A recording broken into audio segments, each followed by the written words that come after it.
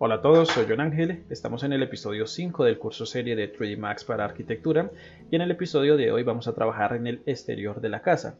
Les mostraré mi método para buscar inspiración y decidir qué elementos tendrá la escena en la que estamos trabajando, pasando del modelo simple de la casa a una escena completa exterior en 3D. Así que, comencemos.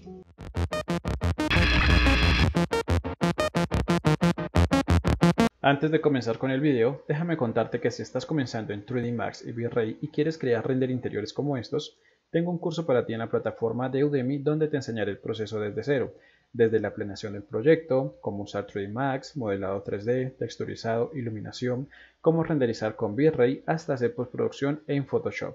Si quieres apoyarme y saber un poco más del curso, te dejo el link en la descripción. Entonces, lo primero, recuerda que si quieres la escena como la llevamos hasta este momento, puedes descargar el archivo de esta clase en el link de la descripción y también les voy a dejar una lista de las clases anteriores por si quieren ver o hacer todo el proceso ustedes mismos. Entonces llega un momento en cualquier proyecto en el que ya lo tenemos de esta forma, sobre todo en los proyectos exteriores, donde ya modelamos la casa, mucha de la arquitectura, y pues es momento de centrarnos en la parte exterior. Esto puede ser un poquito abrumador porque pues es un espacio súper grande y muchas veces no tenemos el conocimiento o los criterios para definir qué poner. Para eso, lo que yo suelo hacer sobre todo en los proyectos en los que yo trabajo de manera personal, es irme a la página de Pinterest y a la página de Behance. Esto creo que ya la mayoría las deben conocer. Son páginas que sirven para tomar inspiración y referencias. Entonces, ¿cuál es el proceso que yo sigo? Bueno, pues empezando, eh, trato de definir lo que yo voy a poner en mi escena. En este caso necesito solamente referencias de tres elementos, que son eh, la parte general del terreno, la parte de la fachada del frente y la parte trasera. Para eso, eh, pues busco las referencias que más me gusten, trato de que se acomoden mucho a, a lo que más me guste. Entonces aquí en estas dos páginas ustedes pueden encontrar muchísimas, muchísimas referencias. Aunque yo se los las recomiendo si es para proyectos personales. Si no, pues es para un proyecto de un cliente, pues el cliente les debe definir cómo va a ir la parte exterior. Entonces, pues, para no hacer esto muy largo, yo ya obviamente hice una búsqueda por las dos páginas y estas son las referencias que tengo. Se las voy a explicar rápidamente. Estoy aquí con el programita de PuriRef, ya llevo algunas clases recomendándoselo, es gratuito y me permite pues hacer estos collage con muchas imágenes para tener toda una forma un poquito más organizada. Entonces, eh, lo primero, lo que a mí me interesa, lo que les digo, el terreno general.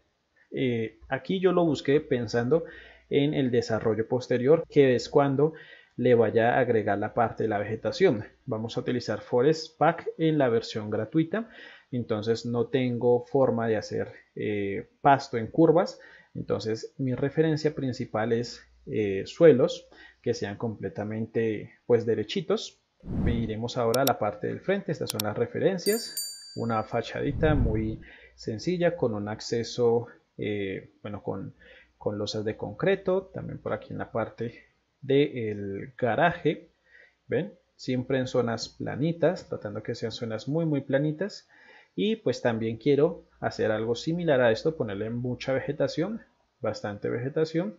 Y bueno, lo que les digo de las losas de concreto que me gustan bastante para la fachada. Y en la parte de atrás esta eh, imagen, este es un render de una casa de arquitectura.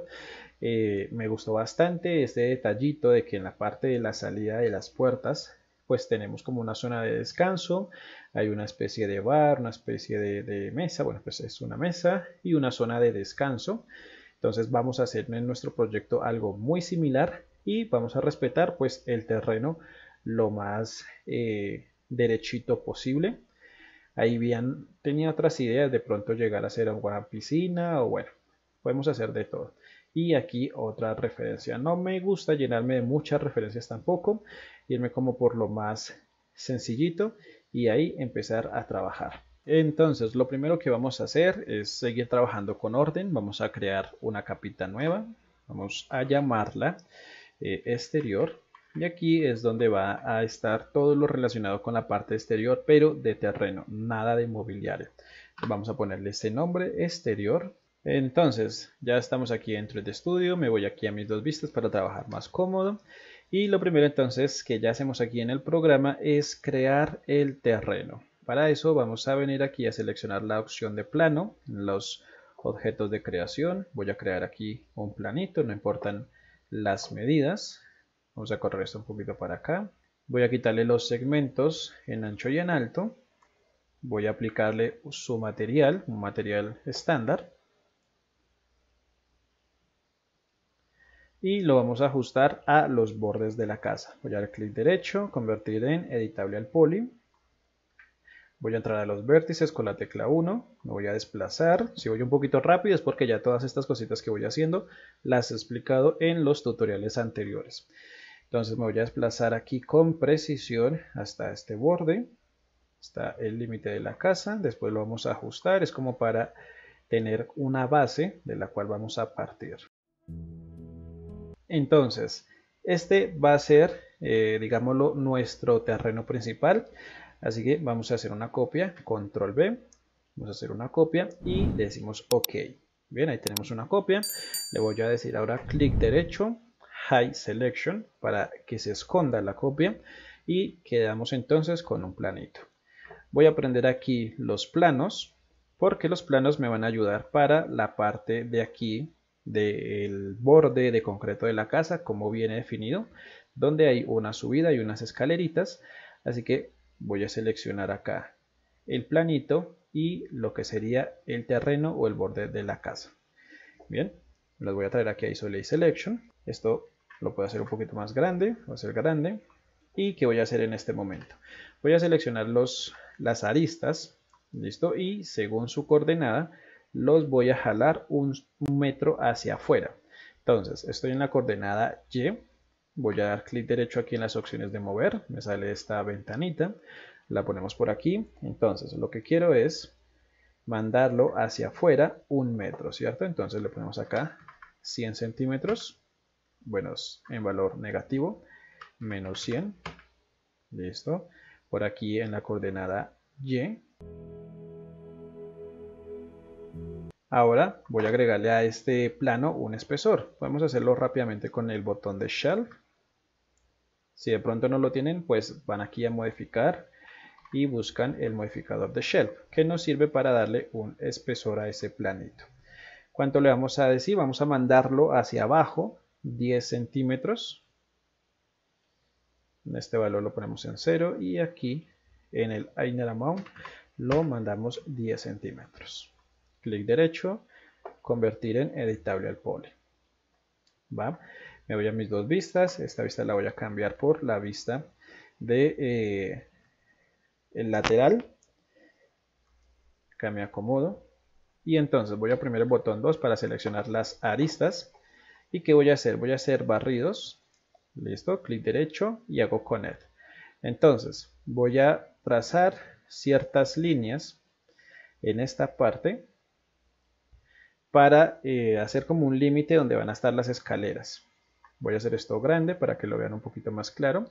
Entonces selecciono estas aristas, clic derecho, Connect y me voy a apoyar de las esquinas donde va la escalera. Listo, ahí clic derecho, Connect. Y bueno, aquí no tengo una referencia muy muy precisa, así que vamos a tratar de irnos a la mitad de la escalera por acá. Vamos a decirle P para perspectiva. Voy a seleccionar con cuatro polígonos.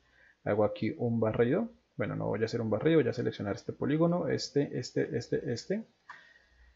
Bien, y entonces vamos a hacer unas instrucciones. Voy a buscar aquí en las opciones de edición de polígonos la opción de extruir. Voy a decirle destruir. Le decimos OK y los vamos a subir hasta el primer escalón.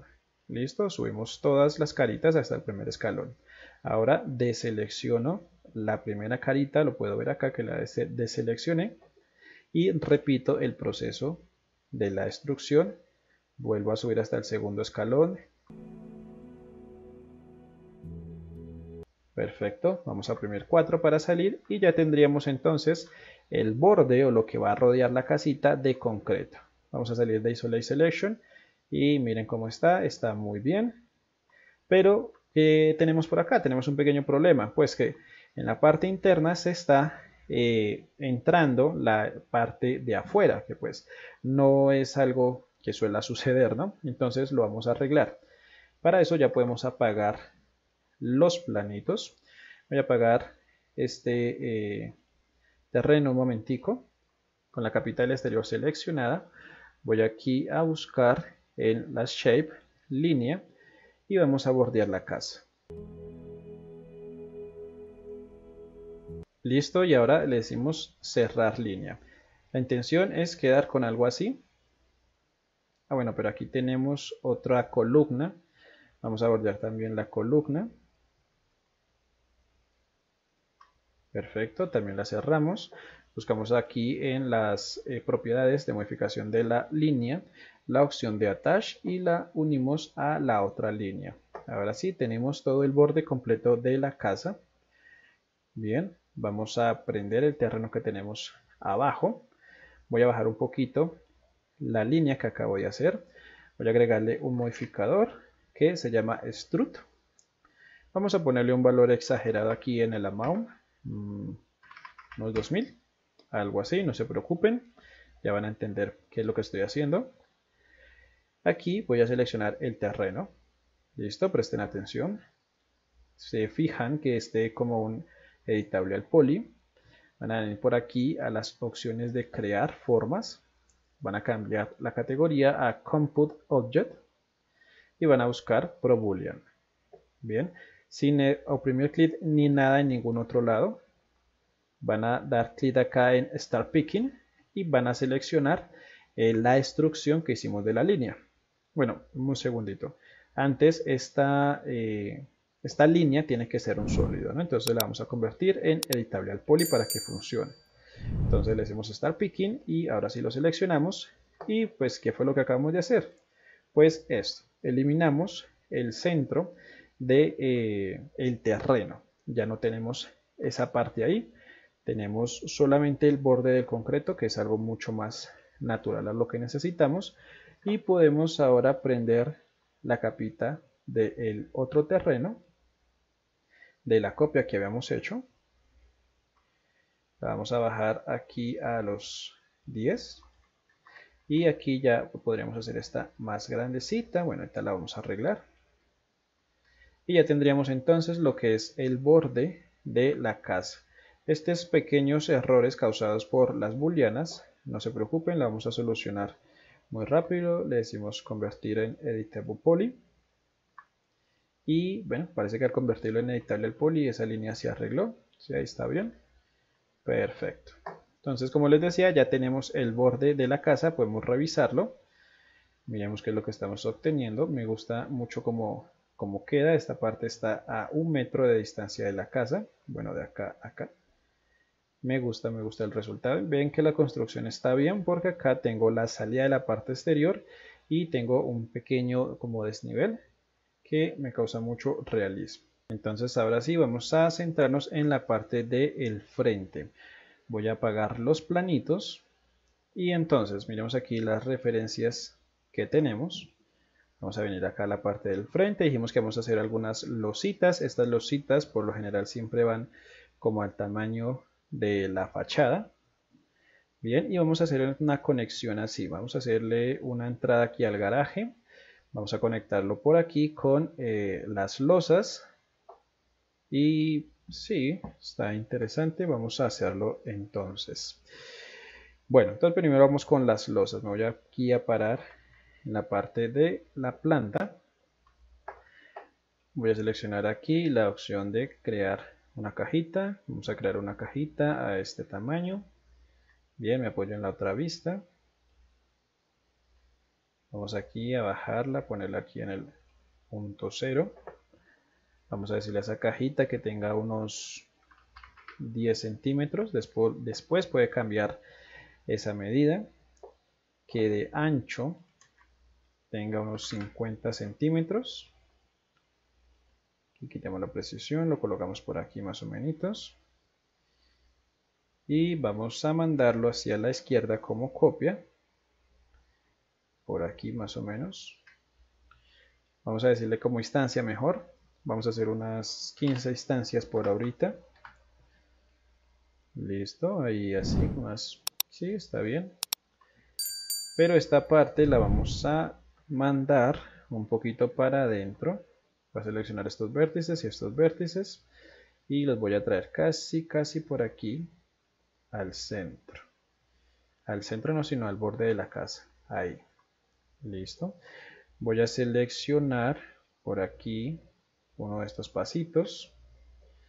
Vamos a decirle que sea una copia. Y acá seleccioné el terreno. Selecciona por aquí. Digo que sea una copia. Ok. Vamos a hacerle clic derecho, convertir en editable al poly. Y vamos a colocarlo acá. Vamos a ponerlo por aquí. Y este lo vamos a poner por aquí. Que tenga un pequeño espacio. Estamos tratando pues como de adaptar lo que vemos a lo que pues tenemos acá en 3D, ¿no? Que tratar de adaptarlo.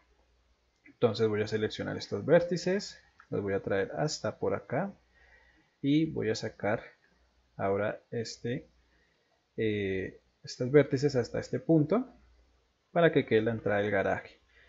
Voy a bajarlo un poco una coordenada z que quede un poquito aquí abajo.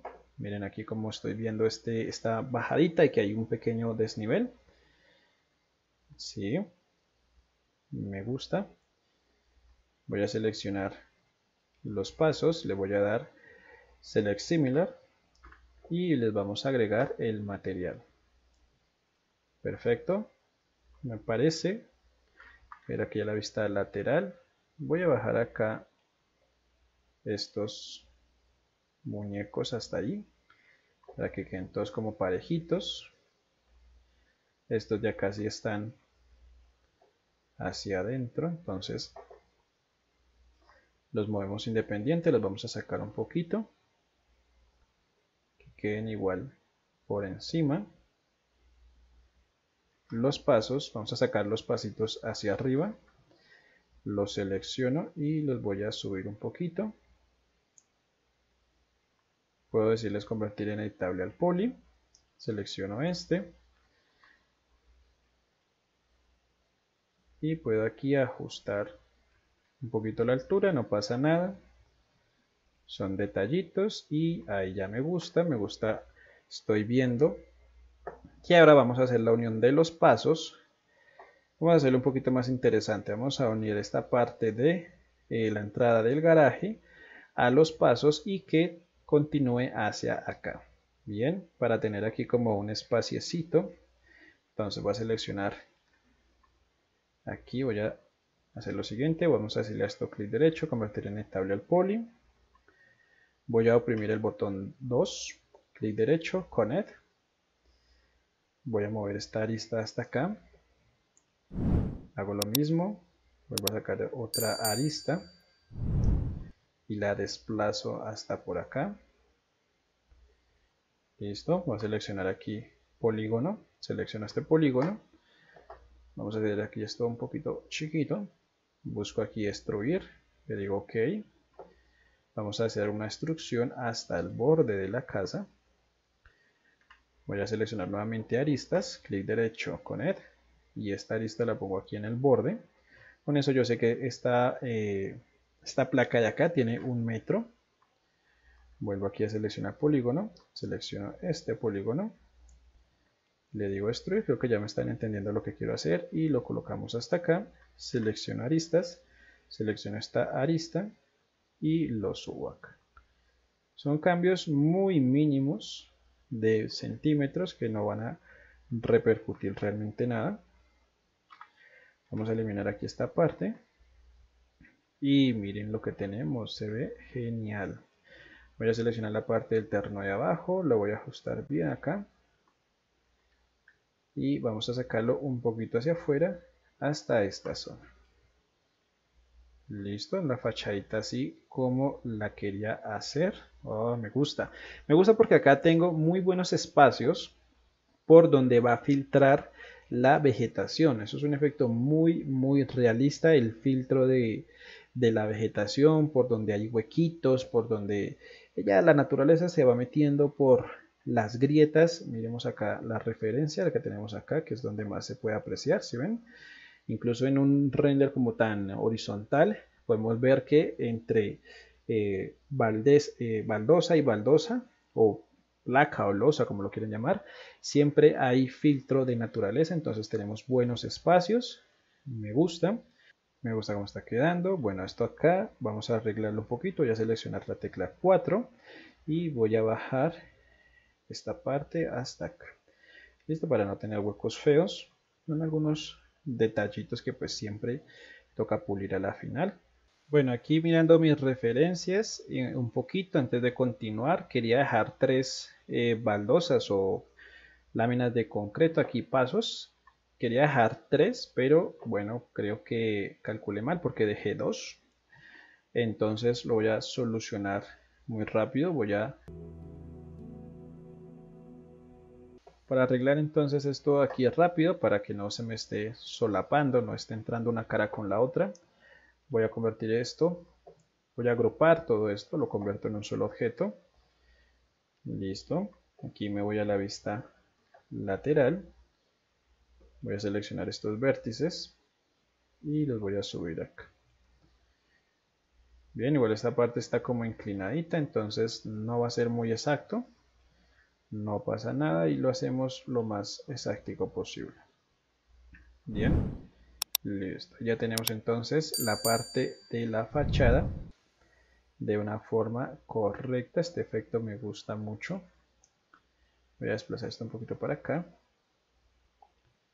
Bueno, esto ya son detallitos. Bien, vamos ahora con la parte de atrás. Listo, entonces aquí habíamos terminado esta forma la parte de atrás. Vamos a mirar las referencias que tenemos en la parte de atrás. Y bueno, entonces lo primero que quiero que miren es que pues subimos aquí en teoría, imaginémonos que acá tenemos las escaleras, llegamos a esta zona de descanso y pues tenemos el terreno como muy eh, pues derechito, muy planito. Entonces voy a seleccionar esta cara, selecciono polígono y lo mando para aquí atrásito. Lo bueno del 3D es que somos libres con el espacio. Lo voy a mandar más o menos hasta acá. Ahora voy aquí a crear una cajita con AutoGrid prendido. La precisión activa y me da error. Ahora sí, lo creo sin la precisión. Voy a decirle que esa lámina de suelo sea de 2 centímetros de alto. Bien. Vamos aquí a tratar de centrarla. La ponemos aquí al borde. No necesitamos acá ser tan, tan, tan, tan, tan precisos como no tan, tan sino como tan al milímetro, como si estuviéramos en un interior. Vamos a aplicarle acá con material.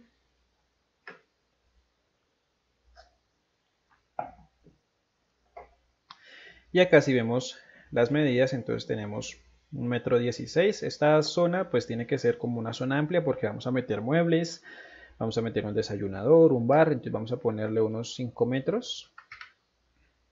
Listo, que sea algo amplio. Uy, no, bueno, creo que ya está muy amplio. Vamos a bajarle un metro.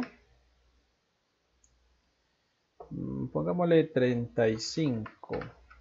3 metros y medio. Listo. Y el largo, si quiero que sea hasta este borde. Voy a hacerle clic derecho, convertir en editable al poly. Y lo vamos a mandar hasta el borde de la casa. Perfecto. Y por aquí hacemos lo mismo. Hasta ahí está el borde. Bien, ahora es importante hacer eh, lo siguiente. Voy a seleccionar el terreno de abajo. Vamos a hacerlo fácil. Porque aquí vamos a tener una especie de problemita. Porque si estamos fijándonos, tenemos pues esta zona que es derecha pero esta parte ya empieza a, en otro nivel. Y pues si vamos a utilizar Forest Light no vamos a poder mandar digamos vegetación en ese punto con Forest entonces vamos a hacer un pequeño pues truquito. No es ninguna trampa no es nada ilegal que podemos hacer con el programa. Y vamos a mandar hasta aquí el borde este voy a oprimir Shift para seleccionar esta arista. Voy a hacer una copia de esa arista hacia arriba con Shift también. Y ahora la voy a mandar hacia atrás. Bien, entonces ya tengo, digamos, los dos niveles del terreno, que es este y este. Aquí veo que este, pues este nivel donde tenemos el borde de la casa se está tocando con el terreno. Para no tener problemas, lo voy a devolver acá hasta este punto. ¿Listo? Como acá tengo lo que sería la parte de madera, si pasa algo acá entre las caras que se tocan, pues no lo voy a ver. Bien. ¿Qué voy a hacer? Voy a seleccionar polígono. Bien, selecciono polígono. No pasa nada que esto esté por acá debajo, no pasa nada. Y lo voy a separar con un detach. Con un detach. Y este también hago lo mismo. Detach. Perfecto. Aquí voy a seleccionar este, eh, lo que sería esta tabla de madera, este objeto, este modelo y lo vamos a correr esta vez hasta todo el borde. Ustedes dirán que cuando tenga, eh, cuando agregue el pasto, pues acá va a salir. No, eso yo se los voy a explicar en su momento en el Forest. Y ya entonces lo que nos queda es hacer como el borde de la casa, ponerle un límite. Como vemos en nuestras imágenes de referencia, a, los bordes de la casa siempre hay algún límite que nos lo está dando un muro, un, no sé cómo se llaman, como un muro de, plantas, de esas que son duritas, pero siempre tenemos un borde de la casa, tenemos un límite. Así que vamos a hacer el límite para nuestra casa. Vamos a crear aquí en la vista eh, superior, oprimo T, voy a crear aquí una cajita, valores iniciales no importan, voy a ponerla por aquí, vamos a decirle que tenga 50 centímetros, de ancho y que tenga una altura de 1,50 que es más o menos la altura de esos muritos. Y ya, vamos a decirle clic derecho, convertir to, edit poly. Vamos a ponerlo aquí al borde y aquí al borde. Entonces me voy a acercar por aquí en la vista top y lo vamos a desplazar desde este punto hacia la izquierda un metro. Entonces, coordenada X menos 100. Bien. Aquí voy a hacer una copia, Shift, copia. Vengo aquí a la vista lateral. Lo subo. Lo acomodo. Y ajusto los vértices. Ahí puede quedar de esa formita. No pasa nada, si se ve feo ya lo arreglamos. pues no se ve feo, pero quiero hacer un poquito más salido el muro. Vamos aquí a agregar un conet. Bien, vamos aquí a decirle una instrucción de un metro. Perfecto. Y salgo. agregamos aquí un material para poderlo ver un poco mejor. Ahí que quede como en una forma de S, que la gente va llegando acá y pues puede ver el límite de la casa. Igual tenemos muy muy buen espacio.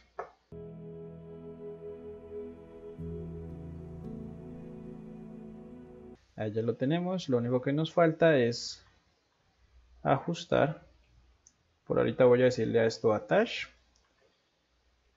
para poderlo mover más. Entonces ya tendríamos la casa con su límite y bien, entonces ustedes dirán, si no podemos con Forest Pack trabajar en inclinaciones, ¿cómo vamos a hacer aquí para agregar el Forest a esta zona? Pues es muy sencillo. Eh, vamos a hacer una estancia. Bueno, eso lo veremos en la parte del Forest. Pero aquí en esta parte que si nos quedó pues derechita, vamos a ocultar esa parte derechita con plantas de este estilo. Con algunas materitas, mejor dicho, con vegetación vamos a mejorar esta parte. Bien, entonces vamos a hacer ya la última parte y se las explico. Voy a seleccionar aquí el terreno, voy a volverlo a separar, igual que hice antes, detach, le decimos ok y detach y le decimos ok. Entonces voy a seleccionar estas dos piecitas ahora separadas. Y acá les explico lo que yo quiero hacer. Esto es pensando a futuro. Como yo quiero crear un pasto muy muy realista con Forest Path que es bastante fácil, tengo la posibilidad de hacerlo muy rápido, pero me va a hacer pastos como este que estoy viendo en la referencia. Muy parejitos, como muy perfecticos y esto es algo que no es muy real en la vida real, porque en la vida real tenemos impurezas, tenemos diferentes plantas, tenemos florecitas, inclusive hay partes en donde se ve tierra. Entonces lo que yo quiero es que se vea la tierra. Para eso entonces es que separamos estos dos planitos del terreno original. Entonces, para que me entiendan, vamos a seleccionarlos, vamos a hacer una copia de estos dos planos, le digo OK, clic derecho, High Selection, los escondí. Voy a seleccionar este plano que cuando yo esté renderizando me va a simular partecitas de tierra. Entonces, voy a agregar aquí unas aristas, clic derecho, Connect. Voy a agregar unas 100 aristas. Listo, le digo OK. Y ahora vamos a hacer lo mismo en este otro valor. Le digo 100 le digo ok. Y ya está. Una malla un poquito densa aunque creo que es insuficiente pero por ahorita nos va bien a esta malla, a este planito voy a agregarle el modificador de noise y aquí voy a empezar a jugar con los parámetros en la escala voy a poner un valor bajito de 10 voy a prender el fractal y aquí en el stretch, en la fuerza, voy a poner todos estos valores en 3. Bien. Para que me quede algo así. Que me queden onditas, deformaciones, porque estas en ciertas partes del pasto van a salir. Y como van a tener una textura de tierra, me va a causar un efecto muy, muy realista.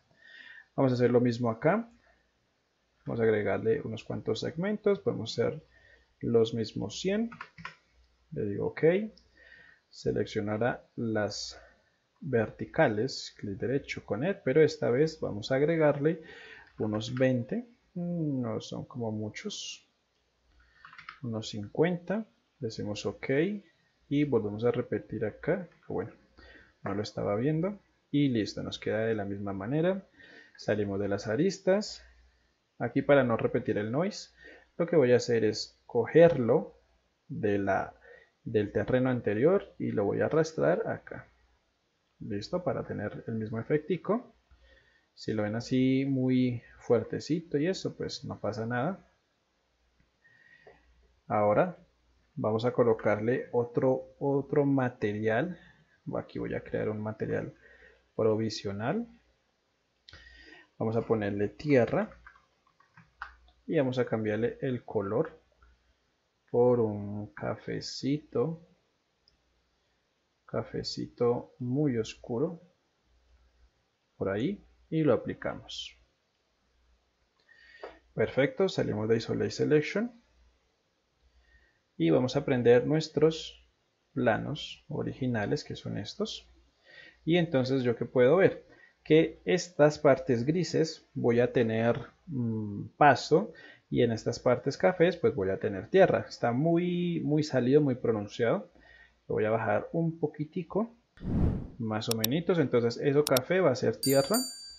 Para que sea un poquito mejor vamos a convertir esto clic derecho convertir en editable poly lo voy a seleccionar. Voy a agregarle un turbo smooth para que se vea mucho más eh, curvito no se vea así como esas partes tan fuertes. Y lo podemos sacar ahí sí un poquito más. Bueno igual eso lo mejoramos cuando estemos ya en la parte del render y tomemos decisiones. Vamos a agregarle otro nivel de detalle. Bien. Y aquí podremos hacer lo mismo. Clic derecho convertir en editable al poly agregamos dos turbo smooth y lo podemos bajar un poquito. Parecen como goticas de agua. Entonces, ya tenemos modelado todo lo que es la arquitectura del exterior de la casa y se modeló pensando en el paso siguiente que es cuando vayamos a agregar Forest Pack en la versión Lite. Ven el resultado, se ve muy muy bonito, pero lo que les quiero recargar fue que nos ayudamos mucho en las referencias que encontramos en Pinterest y en Behance. Esto es algo muy importante que por lo general solemos eh, pasar por alto cuando se está comenzando y pues esto nos ayuda a evitar esos bloqueos mentales o bloqueos artísticos que pues nos suelen suceder a todos. Lo que hicimos fue coger esas referencias y con base en ellas ajustarnos a nuestro proyecto. Esperen, lleven, espero que lleven un resultado muy similar a este y pues recuerden que pueden descargar estos archivos desde la descripción. Ahora, si quieres aprender más rápido de lo que voy en este curso y de paso apoyarme, te recomiendo mi curso profesional de exteriores fotorrealistas que tengo en Udemy y así podrás acceder al desarrollo completo de una escena exterior sin esperar. Aquí te muestro algunos resultados de mis alumnos a los que fácilmente tú también podrás llegar. Son 14 horas de formación online y lo mejor es que al finalizar el curso podrás obtener tu certificado de conocimiento. Si te interesa te dejo el link en la descripción. Por ahora no sería nada más. Soy John Ángel hasta luego.